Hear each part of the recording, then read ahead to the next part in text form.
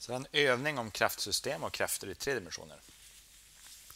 Vi kan börja med förflyttningslagen. Om vi tar en deformerbar kropp, vi kommer inte att prata så mycket om deformerbara kroppar på den här kursen, men om vi tar en geléklump och så har vi en kraft här, så flyttar vi kraften. Det vill säga vi ändrar angreppspunkten, vi har en annan lägesvektor R2 istället för R1. Kommer det att påverka dynamiken hos den här geléklumpen?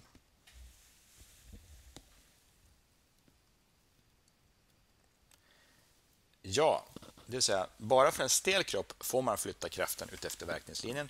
För flyttningslagen, att man får flytta hur man vill ut efter verkningslinjen, gäller inte för geléklumpen. Så det blir en helt annan dynamik när man gör så här. Här är ett annat exempel. Hemuppgift. I den här upplagan är det 2103. Och vi har en komponent här som sitter fast i en vägg. Den sitter fast i en, i ett rep här, eller en vajer, som drar med en spänning T här. Och det här ska alltså vara i tre dimensioner, så låt oss rita det lite tydligare. Det blir lite mer streck. Om man tittar noggrant ser man vad som händer här. Då ser man att den här går in där, men den rör sig i sidled så att säga för att komma till den här punkten. Det man gör då är att man kan komposantuppdela så att en av komposanterna som utgör den här resultanten är den här.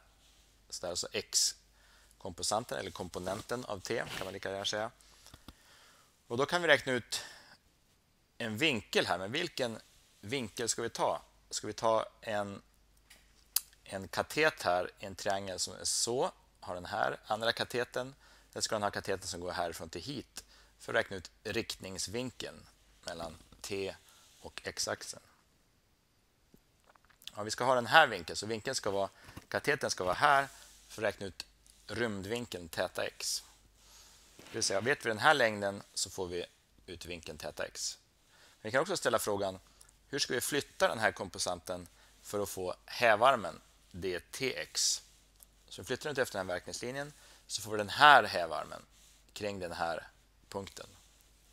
Det här är alltså en implicit användning av varignossats. Vi har delat upp t i, i komponenten. Den har också y och x, y och z-komponenter. Men här så får vi alltså en av de bitarna. Så vi pratar lite om skärningspunkt. Vi har två krafter, F1 och F2, som skär sig i punkten A. Om vi flyttar dem till skärningspunkten, då får vi addera dem. Så här, F lika med F1 plus F2.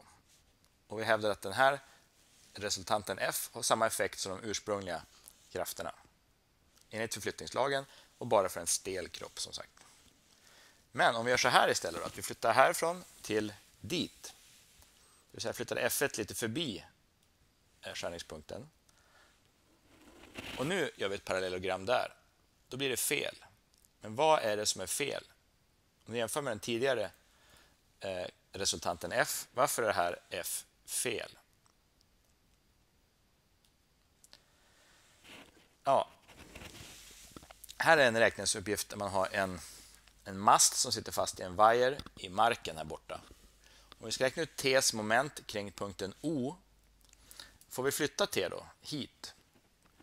Kan vi räkna ut det istället med att ta den här kraften så att den angriper där istället för att den angriper någonstans så att säga utefter repet som är det här.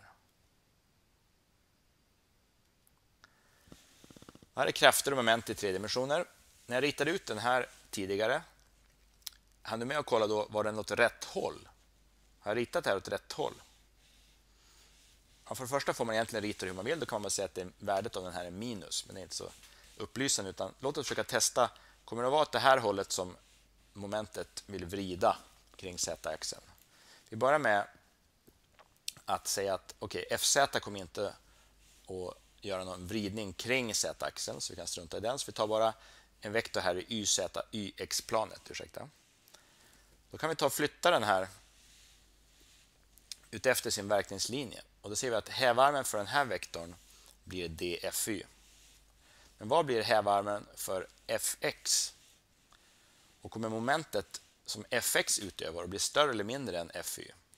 Därför vi ser att fy verkar vilja vrida motsatt det som är utritat. Det verkar vilja vrida så här. Medan fx kommer vilja vrida precis åt det hållet som ritat. Så hur ser vi vilken som har störst momentbelopp? Ja, det här är i alla fall hävarmen för fx. Och vi ser att kraften verkar vara ritad som att den är större, kanske dubbelt så stor. Men hävarmen för Fx är betydligt mer än dubbelt så stor som hävarmen för Fy. Så det totala momentet, om allting är ritat i skala åtminstone, skulle vara så här, som det är ritat i figuren. Så vi har det här.